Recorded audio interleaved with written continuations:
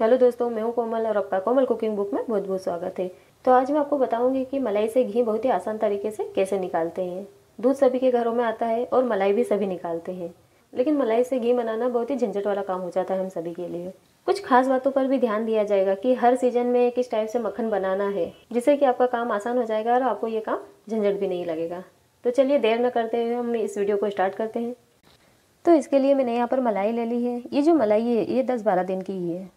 और अगर आपको यहाँ पर दस बारह दिन नहीं, एक डेढ़ महीने के लिए मतलब बीस पच्चीस दिन या एक महीने के लिए आपको मलाई स्टोर करनी तो आप फ्रीजर में स्टोर कर दें। इससे मलाई एकदम फ्रेश रहती है। अभी जो मलाई है, इसको एक बड़े बर्तन में ट्रांसफ़र कर लेते हैं। देखिए, मलाई एकदम फ्रेश है, बिल्कुल भी ख़राब नहीं हुई है। ना कोई स्मेल आ रही है, बहुत ही बढ़िया फ्रेश फ्रेश मलाई है ये।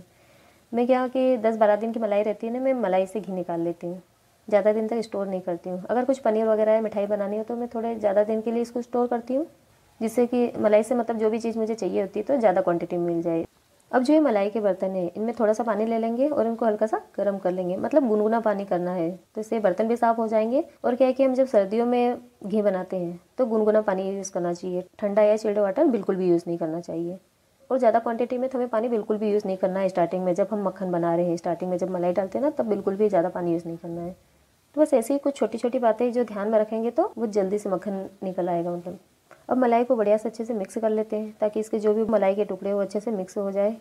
और अब जब भी सर्दियों में घी बनाए ना तो अगर फ्रिज में मलाई रखी है आपने या फ्रीजर में रखी है तो आप उसको दो तीन घंटे के लिए बाहर निकाल दें। उसके बाद ही उससे घी बनाएँ तो वो जल्दी निकल जाएगा आपका घी उससे।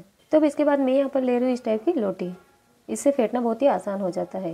मतलब इस टाइप का जो बर्तन होता है ना, ऐसा लंबा लंबा आप वो ले लीजिए। तो क्या है कि ये ऊपर से मतलब धारदार नहीं होता है तो ये इसको पकड़ना भी आसान होता है और थोड़ा लंबा रहता है तो इसे फेंटना भी बहुत आसान रहता है।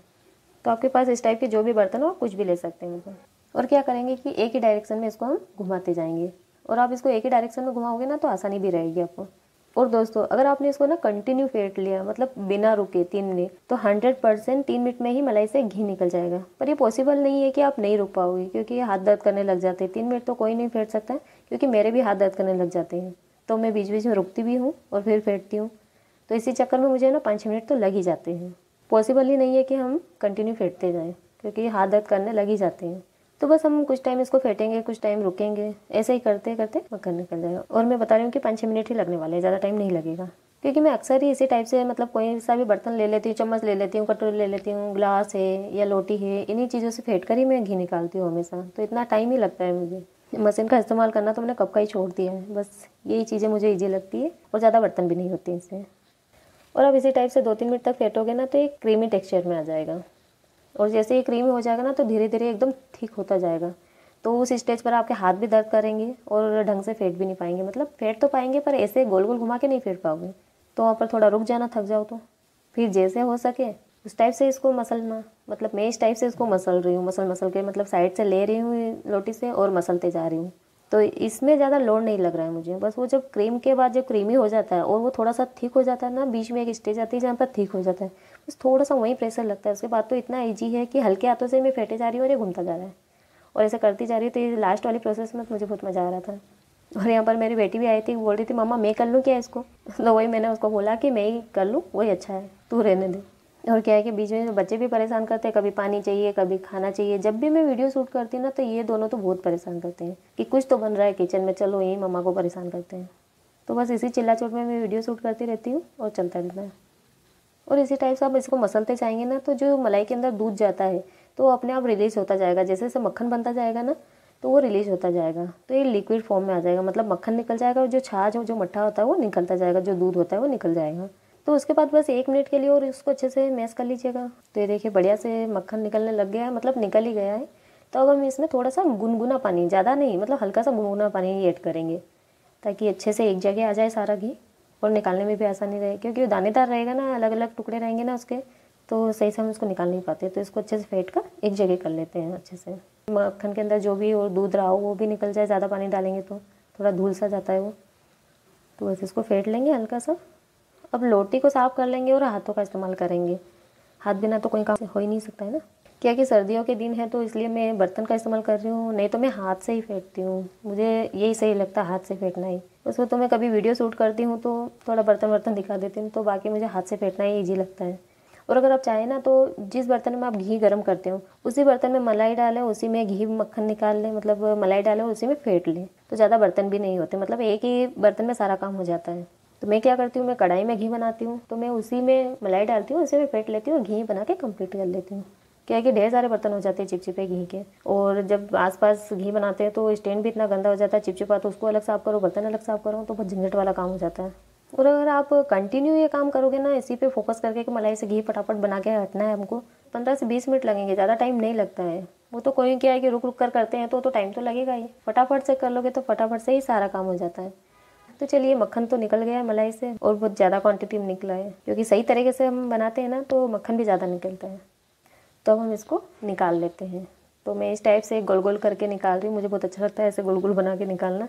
तो मैं जिस बर्तन में घी गर्म करूँगी, उसे मैं निकाल रही हूँ। तो ये कढ़ाई यूज़ करती हूँ हमेशा मैं घी गर्म करने के लिए तो इसमें ही मैं इनको रख लूँगी। और आगे मैं आपको एक खास चीज़ बताऊँगी कि घी गर्म करते टाइम अगर उसमें एक चीज़ डाल दो तो उससे घी इतनी जल्दी बन के तैयार होता है मतलब वो जो छाछ है उसके अंदर मटठा रहता है, वो इतनी जल्दी पक जाता है कि फटाक से घी गर्म होकर रेडी हो जाता है। तो मेरे प्यारे व्यूअर्स अगर आपको ये वीडियो जरा भी पसंद आ रहा हो तो एक लाइक ज़रूर कर दीजिएगा। तो चलिए सारे मक्खन को हम इसी टाइप से निकाल लेंगे। और इसी चक्कर में मेरी बेटी फिर से आ गई दोबारा कि, मम्मा, मैं भी कर लूँ कि ऐसे उसको बहुत शौक है काम करने का और पढ़ने का मत बोलो इनको, बस कुछ काम करो ना ऐसे तो फटाक से आ जाते हैं कि मुझे भी करना है। तो ये देखिए, मैंने सारा ही घी निकाल लिया कढ़ाई में। अभी जो दूध पानी बचा है ना, इसको मैं फेंकूँगी नहीं। इससे मैं पनीर बना लूँगी। अक्सर जब मुझे पनीर बनाना रहता है तो मैं मलाई निकालती हूँ। घी भी निकल जाता है, पनीर भी निकल जाता है और खुरचन भी निकल जाती है। अगर आप मिठाई बनाना चाहते हो और खाते हो तो।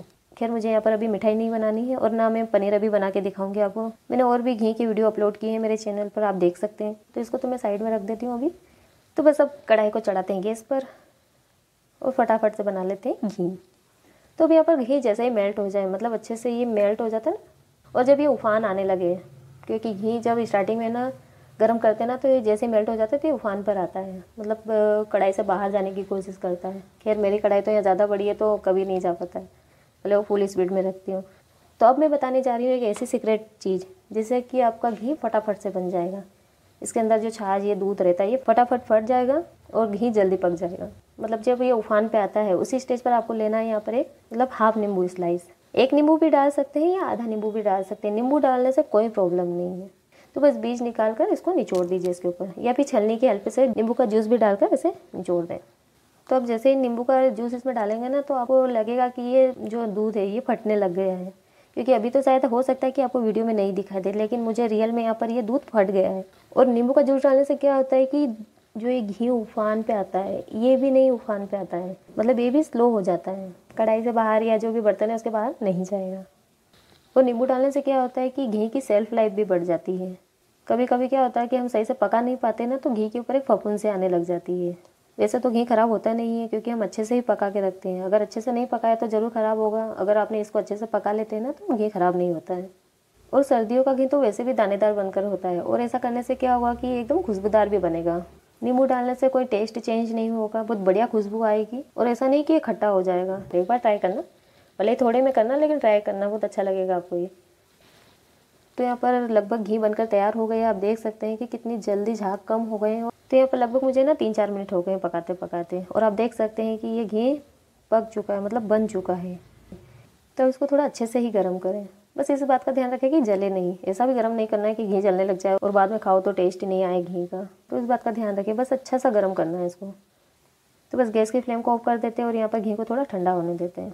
तो देखिए यहाँ पर हमारा घी ठंडा हो गया है और अब इसको मैं छानूँगी। तो आप देख सकते हैं कि, कि ये ज़्यादा क्वांटिटी में भी जितना हम घी को पकाएँगे उतना ज़्यादा टाइम लगेगा और इससे घी भी जलता है। ऐसा मेरा मानना है। तो बस यहाँ पर मैं सारा घी छान लेती हूँ। और ये जो टिफ़िन है मेरा पूरा खाली है इसी में मैं स्टोर करती हूँ, जब भी घी बनाती हूँ। अभी मेरे पास ख़त्म हो गया था तो मुझे हैंड टू हैंड घी बनाना पड़ा। तो बस ये खुरचन मुझे यहाँ पर मिठाई नहीं बनानी, इसलिए मैंने इसको थोड़ा डार्क कर लिया। अगर आपको मिठाई बनानी तो इसको थोड़ा ब्राउन लाइट कलर का रखें। मैंने डार्क कर दिया, क्योंकि मुझे मिठाई नहीं बनानी थी। और ये जो टिफ़िन है ये हाफ़ मतलब आधे टिफ़िन से भी ज़्यादा भरा हुआ है। और ये दो किलो का टिफ़िन है तो ये आधे से ऊपर आ गया है मतलब आप समझ सकते हैं कि कितना घी निकला है। तो फ्रेंड्स यहाँ पर आपको मेरी वीडियो अगर ज़रा भी पसंद आए तो लाइक शेयर ज़रूर कर दीजिएगा। और चैनल पे नए हो तो चैनल को भी सब्सक्राइब कर दीजिएगा। तो ये हमारा देसी घी बनकर के तैयार हो गया है। तो चलिए दोस्तों, मिलते हैं एक ऐसे ही दिलचस्प वीडियो में।